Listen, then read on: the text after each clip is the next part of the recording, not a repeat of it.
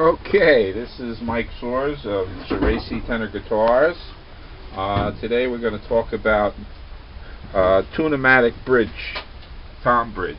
Uh, now, if you stumbled on this uh, video and you're doing a 6-string or 12-string Tune-o-matic, uh, please watch the end of this video. It'll help you out. Basically, this video is going to be on using a Tune-o-matic for a tenor guitar, octave mandolin, even a regular mandolin, bouzouki, stuff like that for an archtop guitar.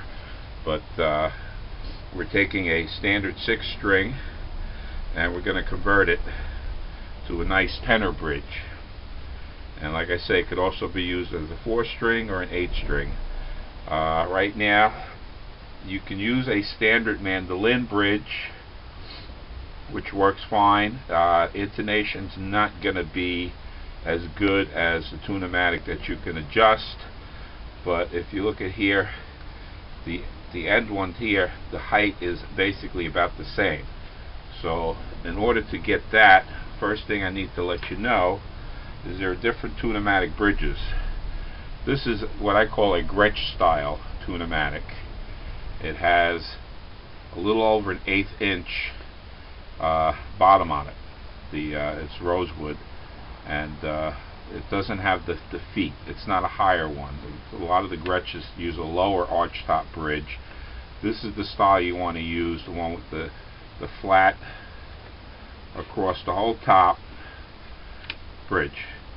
Okay and this one comes with masking tape on the bottom and it has the screws which are adjustable uh, they usually come with a little Allen wrench. You can raise the posts, the adjusting posts up and down on this. Okay, but this is what we're going to use, the one with the smaller bottom. And what we did here was we took the the posts and we adjusted them so they're they're just below the wood. You don't want them sticking out because you don't want to damage or scratch the top of your guitar.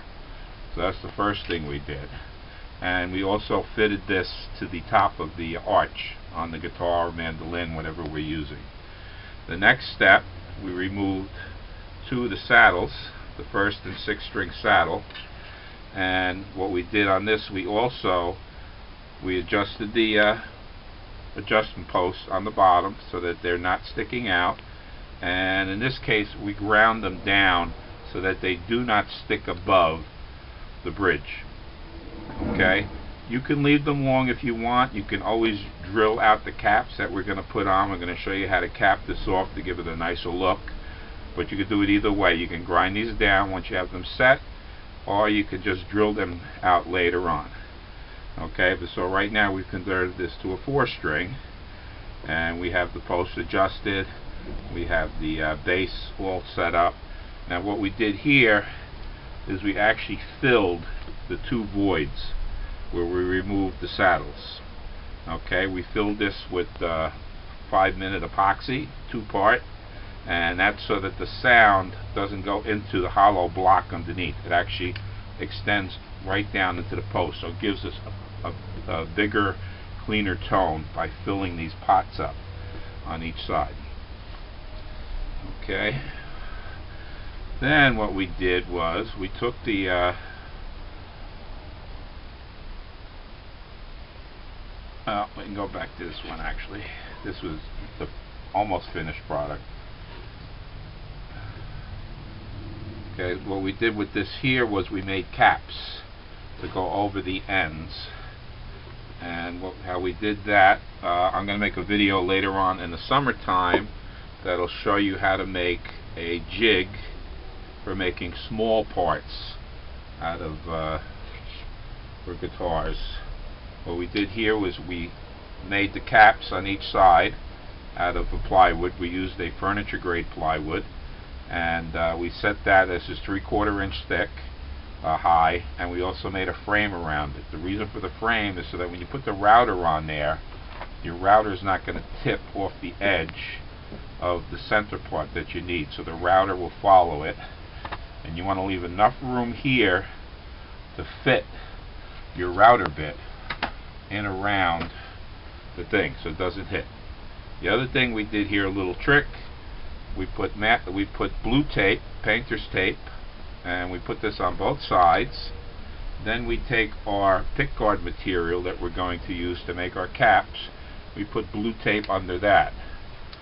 And then what we do is we use crazy glue, a little bit of crazy glue on this side, and that gets glued to this side. So what happens is after you router out your piece, which is going to be something like this here, your cap, it allows you to peel it off without damaging your your jig.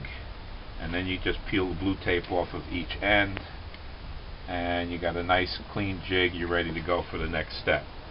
So that's basically how we do our little parts. Okay, and as you can see here, we have a cap, and then what we do is we glue the cap onto each end of the bridge. And that covers up the first and sixth string, gives it a much nicer, cleaner look. Like I say, if you want, you can then drill through each side to allow that post to come through, but we like to uh, grind them down. Okay, and then after we do that, what we do is we actually sand down the saddles.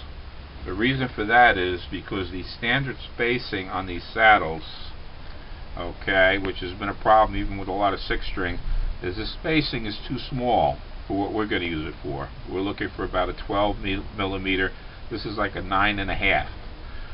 Now I understand that they make these in different sizes, but it's very hard to find the 11 and a half and 12 inch spacing on these bridges for some reason. There's a couple of companies in China that are making them, but apparently nobody's ordering them. So they're very hard to find. So in this case, we need to relocate the string grooves okay and in order to do that what we do is we set the bridge onto the guitar space our strings accordingly to match the line up with our fingerboard. Uh, evenly as possible we do the first and last string first leaving the same amount of space. So if it's like an eighth inch space on this side we leave an eighth inch space on this side. Then we go and center our two middle strings okay and then what we do after that is we slightly move them over. We use a Dremel tool with a disc okay a metal disc and we gently score in where our strings are going to lay on the bridge like that. Then we take the same tool and again gently we open up where needed. Usually on the first two strings there's no need depending upon the strings you're using. You can also use this to make a, a, a, a, bridge. So in that case, you want to open up these spaces a lot more. So you want these spaces to be able to comfortably fit each string that you're going to use in there. Again, if it's a tenor, you want four grooves in there for mandolin, octave mandolin, mandocello, uh, bouzouki. Uh, you want two grooves cut into each one evenly. Once we cut the grooves, then what we do is we take the bridge out of the guitar and we put it into a buffer and we buff down the grooves. We get them nice and clean and smooth. This is a finished bridge on the guitar. Nice evenly spaced across the strings. Uh, these have been all polished out. The grooves have been opened up to uh, properly fit the strings. And after that uh, I don't find it necessary. They usually work out fine but if you want to uh, after you get that all set up you can go to your fingerboard and you can check the height of each string to see if it matches up with the arc or the arch of your fingerboard. So you want each string to be about the same height off the fingerboard or a little bit higher on your bass strings than your treble strings and if you need one that is a little bit too high you can always go in here grind this down a little bit more and buff it out but you want this nice buff cleaned. Okay, and that's basically how we make the bridge. And as you can see, it has a nice clean look for a tenor guitar. Also works for well for mandolin. Great thing about it is you could set up a, a great setup on the intonation. Now, something that we do not do and uh, makes it better. Okay, we do not do that because when we make our tenor guitars, they're ordered in all different tunings. ADGC, EBGD, EADG, AECG, and others. Okay, sometimes we also make what we call a four-string mandocello. We can also make these at the eight-string mandocellos. But the point is, we don't do it because we don't know what this is going to wind up being in the end. And the customer may change it. What we recommend is once you have your guitar mandolin or whatever you're using and you have it set the way you want, you have your action, everything set up, your bridge set up, uh, you need to decide on what strings you're going to use permanently. Okay, and I say permanently because when you change string sizes, the intonation on your bridge can change.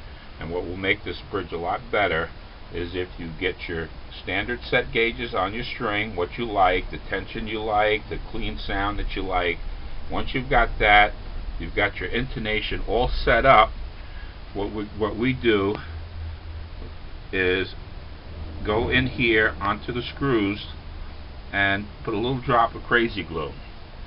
Crazy glue is going to lock your saddle in. Uh, a lot of people don't like Tune-o-matic bridges because they have a little bit of play in these saddles and the saddles can some of them can move up or down if it's it's a less expensive one they do have more expensive ones where you can actually lock your saddles in uh, they still have a little bit movement and it's still a problem because you've got all this spacing underneath that allows the saddles to go up and down. So you're always going to ha never have direct contact. Okay so what we recommend and again why we said we're six string people to hold on to the end of the video is after you crazy glue these in, just a drop, you can remove your bridge and then fill each side of this cavity with the two-part epoxy. Mix it up, put it in a drop at a time, let it settle down to the bottom. Uh, if the, the, the, the uh, epoxy starts to uh, stiffen up, make a new batch. You want it nice and thin so it drops in to each cavity and what that will do is that will give you better continuity across the whole bridge. Okay, it eliminates these hollow spots where you're going to lose sound. It also locks the saddles in. But now because it locks the saddles in, you're never going to be able to adjust this again. So you always have to stay with your same strings. And that's basically it. Hope this helps. Thank you. Again, this is Mike Soares at Cerace Tenor Guitars.